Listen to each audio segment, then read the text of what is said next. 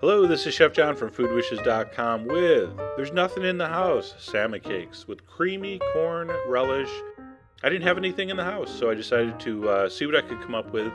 I had a couple seven and a half ounce cans of Trader Joe's red salmon, which I really like, and I went ahead and I crushed that up with a fork. Now, you can eat everything in canned salmon, even the bones.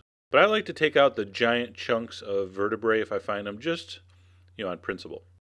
All right, so I'm going to crush that with a fork, and that is going to be the base for my salmon cakes. All right, that's good enough. All right, to that, we're going to add some capers. All right, so I had 43 capers. You're going to chop those up, not too fine, just roughly chop them. A clove of garlic crushed, some black pepper to taste. Now, salt's a little tricky. I'm going to go with about a half a teaspoon. It's tough to salt these after, so you may want to like cook a little piece and taste it.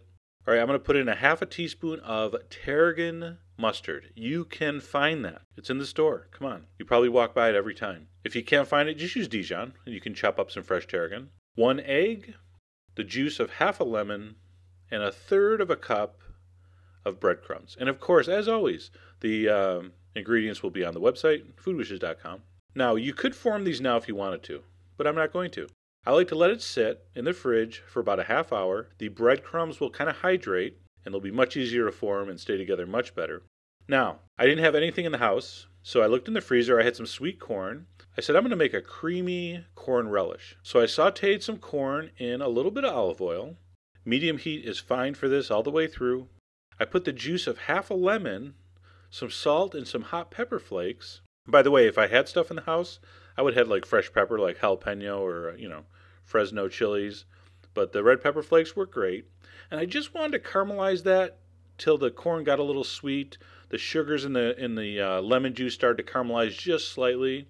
Then one thing I did have in the house was some creme fraiche. I showed you how to make that the other day, by the way. You can use cream, you can use milk, you can use sour cream. Although sour cream can curdle, so uh, the creme fraiche or the heavy cream probably a better idea. And we're done with the corn relish. Set it aside.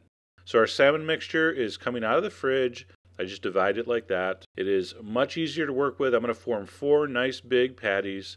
So I have a little bit of breadcrumb on the plate. You form it, you put a little breadcrumb on top, and that's basically it. Very simple operation. I'm going to fry that in just a little bit of vegetable oil or a little bit of olive oil, about five minutes per side. Now, while those cook, before I turn them, I got five minutes here. I'm going to make my sauce, which is another half a teaspoon of the tarragon mustard. You can find that. I know you're like, oh, where am I going to get tarragon mustard? At the store. Go to the nice store with the, the expensive looking cars in the parking lot. And they have tarragon mustard. Or, like I said, just get some regular fresh tarragon, chop it up. Spoon of that creme fraiche. All right, a little bit of salt, some lemon juice, and that makes just a really easy kind of herby drizzle to put on these salmon cakes. See, I didn't have anything in the house, but I still came up with something here. So you can always find something to cook as long as you got stuff in the pantry and the freezer. All right, so those went about five minutes per side. They're nice and golden. Remember, the salmon's already cooked, so you're just warming those through, getting a crispy crust. All right, spoon of my corn relish, that delicious salmon cake on top, and to finish it all off, that drizzle of the herb and the creme fraiche and the mustard and the lemon juice you could even use a tartar sauce on there if you want. I garnish with a couple oil cured olives just for color and because I had them.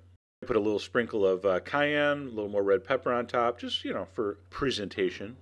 That is a great combination of flavors. You got the sweet corn, the little bit of caramelized lemon on there, the chili flake heats it up, the creme fraiche smooths it out, cools it down, gives it a little tangy aftertaste, uh, the salmon cake on top. So give that a try and never, never look at the pantry and say, hey, I got nothing. What am I going to do? I, I better go out and get a pizza.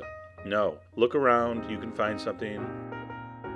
All right, so anyway, I hope you give that a try. Go to the site, all the ingredients are there. And as always, enjoy.